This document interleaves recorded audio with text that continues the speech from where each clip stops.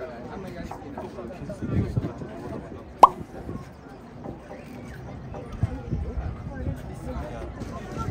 uh, AH-1Z Cobra helicopter. Uh, so it is a four-bladed, two-engine uh, helicopter. It has two pilots that sit in the front seat and the back seat, so both pilots can do all the same functions.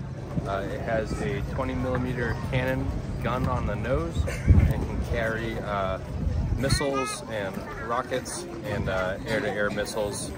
Um, and it's usually paired with the UH-1 Yankee uh, Huey helicopter uh, in the same squadron.